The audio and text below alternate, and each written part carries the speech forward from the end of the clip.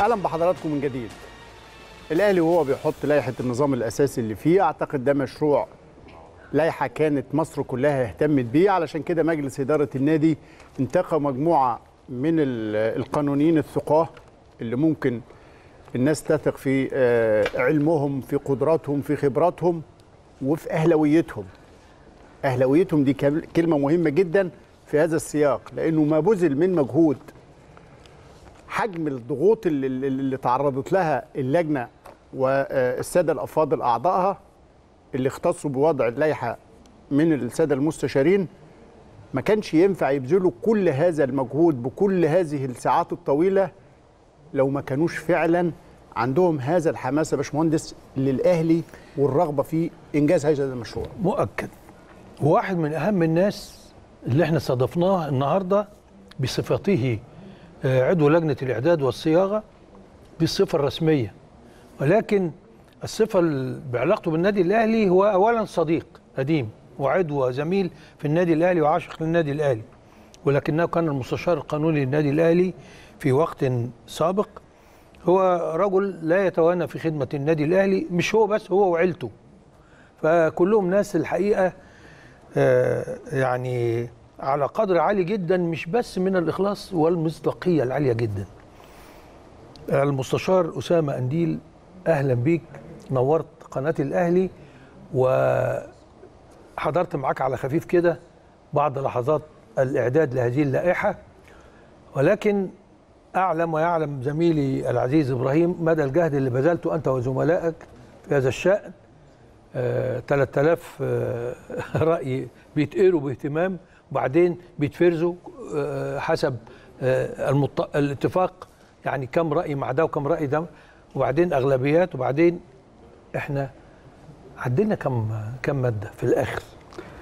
طبعا الأول مساء الخير على حضرتك آه، باشمهندس عدلي والأستاذ إبراهيم. أهلا بيك يا معالي المستشار آه، أنا سعيد طبعا إن أنا موجود آه، في قناة النادي بتاعنا والقناة المعبرة عن الجمعية العمومية طول عمرها. وبشرف إن أنا بين اتنين قامات و ولا أخفيك القول خايف منكم يعني. خبر أبيض. يعني أنت تحبسنا وإحنا قاعدين. لا خايف منكم. لا. لا لا هو هو شوف بص يا أسامة بيه. اتفضل يا فندم. إحنا دلوقتي خلاص أنت اديتني خبر جميل إن في هذه اللحظات راحت على المطبعة. آه. اللائحة في صيغتها النهائية المعتمدة بعد المراجعة والتفحيص والتمحيص.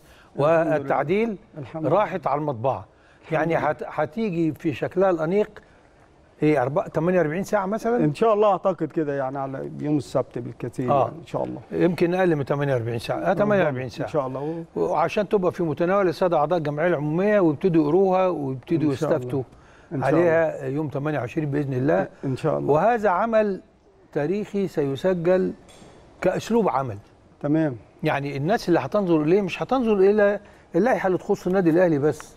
تمام. دي مسألة هيقول لك في الآخر هي حت... حت... يعني تخص النادي الأهلي. تمام. قد يكون هم بيعملوا لائحة يعملوها بشكل مختلف. لكن مؤكد إن المسار اللي صار فيه النادي الأهلي وتوخيه الشفافية والحرص على استطلاع رأي الجمهور وان يكون طرح مجتمع بمعناه الحقيقي تؤخذ فيه آراء جميع الفئات مختلف ال- الأعمار آه، الشباب والمرأة والرجل والمسن والمطلقة والأرملة و- وبعدين في الآخر آه، يتحط كل ده أمام قامات يعني بسم الله ما شاء الله قيادات ال- ال- ال- ال- ال- ال- العدل والقضاء في مصر. كلكم يعني تتنافسوا في مكانة رفيعة جدا. هو ده السؤال اللي بيخليني أهتم ليه أسألك كام مادة اتغيرت؟ ده لأن دي هتدل على حرص النادي الأهلي على إن الجمعيه مش حرصهم بقى على نفسهم وتشبثهم بفكرهم لا ده حرصهم على إن أي تعديل لا يتفق مع فكرهم بس يكون عليه أغلبية اتفاق الأغلبية المجلس يتنازل عن رأيه أمام هذا الرأي. صحيح. آه أنا هاخد من حضرتك كلام وخليني الأول آه أول حاجة تمسني شخصيا يعني.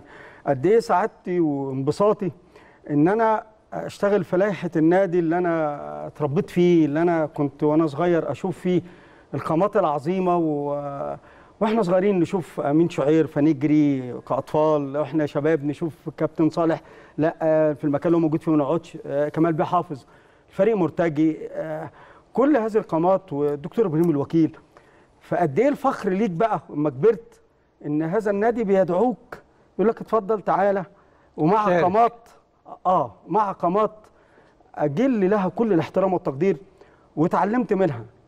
آه أنا كنت أصغر واحد فيهم أعتبر يعني أعتبر في العلم وفي وفي المكانة. كلهم ناس كبيرة. آه ناس أفاضل زي ما سيادتك تفضلت في أماكنها محترمين. آه لما تتكلم عن المستشار محمود فهمي. ده لوحده عايز توقف لوحده عايز كده. كتاب عايز كتاب تبتدي فيه من أول ما دخل تعرفش النادي الأهلي. محمود بيه فهمي ده أحد ظرفاء هذا العصر وقصاص لا تمل لو قعدت تسمعه يوم من الصبح بالليل بالظبط. لما تيجي تشوف آه، آه، سعادة الوزير مجدي العجاتي آه، تتكلم في إيه؟ تيجي تشوف آه، أحمد حسان نائب رئيس مجلس دولة. تيجي تشوف منصف بيه نجيب. ده مستشار محترم نائب رئيس مجلس الدولة وحاليا عضو المجلس القومي لحقوق الإنسان. لما تيجي تشوف آه، الدكتور عمر الشريف آه، مساعد وزير عدل سابقا و- للتشريع الحقيقة. لما تيجي تشوف آه، مستشار علاء قنديل آه، لما تدخل بقى جوه النادي الأهلي معاك آه، الأستاذ محمد فتحي راجل خبير قانوني موجود كمشرف عام للإدارة القانونية منذ زمن آه، أهلاوي فاهم شغله. لما تيجي تتكلم بقى طب خلصنا. عايزين حد في اللغة العربية. حد طيب ما اللغة العربية فيها ناس كتير. لا إحنا مش عايزين ده. إحنا عايزين تخصص جوه اللغة العربية. إيه التخصص اللي عايزينه؟ عايزين مصحح تشريعي. امم ضبط ال- آه. التعبيرات والمصطلحات آه. بقى. وكنا حتى أحيانا كل ما نتكلم قدام حد إيه يا جماعة هو أنتوا بتعملوا دستور مش عارف إيه؟ لا يا جماعة إحنا بنعمل دستور النادي الأهلي. مستشار محمود فهمي أهو. ده آه. أول اجتماع تقريبا للجنة. آه. إحنا إحنا بنعمل دستور النادي الأهلي. طيب دستور النادي الأهلي بهذا الشكل. أنا يا عايز هو, هو أنا عايز أسألك. أنت سؤال قبل ما يكمل علشان أنا هوصل للي حضرتك أنا عايزه. أنا ح- لا هتقول لي دي بعد طب لأن. أنت لفت نظري سردك للقامات في هذا المستوى. معنى سعادة النادي الأهلي بالقامات بهذا المستوى. ما بيديش مؤشر كده عندك مدى الحرص على إن يطلع الشغل طبعا. ما يخرش طبعا. المية؟ طبعا. طبعا. كان واضح جدا الرغبة إن أنت عايز تعمل عمل تشريعي بالظبط. فلسفته إيه بقى مع المستشار قبل ما أروح لفلسفته في الأستاذ آه. أحمد حسين اللي أنا قلت عليه مصحح تشريعي أيوه. هذا الراجل فعلا لازم ياخد حقه. أيوه. لأن الراجل فعلا اشتغل واشتغل بأمانة وبجد. تمام. آه نتكلم على الفلسفة. قبل ما نتكلم على فلسفة العمل ده آه. أنا عايز أقول حاجة. آه. إحنا كنا عندنا آه قانون شغالين بيه البلد كلها والهيئات الرياضية اللي هو قانون 77 لسنة 1975 تمام. هذا القانون خلاص أدى دوره في مرحلة معينة وكان دايما عشان الناس تبقى معانا ال- ال- القانون دايما بيلبي احتياجات الناس في مرحلة معينة في وقت معين. تجمع سكاني في مكان ما في وقت ما. أيوه. حضرتك عارف في الوقت ده كله كان تحول البلد كله تقريبا للفكر الاشتراكي فكان خلاص فلسفة القانون قائمة على إن الجهة الإدارية هي صاحبة. الحق هي المهيمنة. وحضرتك طبعا كنت يا أستاذ عدلي آه، مهندس عدلي كنت مدير النادي الأهلي وشفت قد إيه كنت بتعاني آه. أي حاجة لازم توافق عليها إما الجهة الإدارية المختصة ممثلة في المديرية أو الجهة الإدارية المركزية متمثلة في آه، الوزير دي كانت فلسفة القانون وأدى دوره وما نقدرش نقول غير إن هو كان قانون مناسب للمرحلة اللي كانت بتاعة الدولة كلها.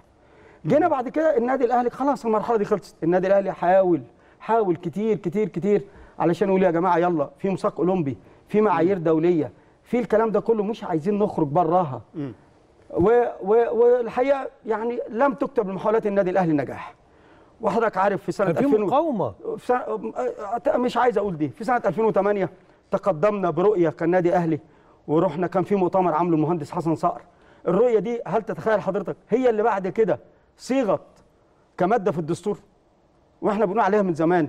يعني قلنا عليها في التسعينات وقلنا عليها في 2008 تاني. خلاص قدر الله ما شاء فعل. جينا بعد كده آه، دخلنا في قانون الرياضه الجديد. اتعمل قانون رياضي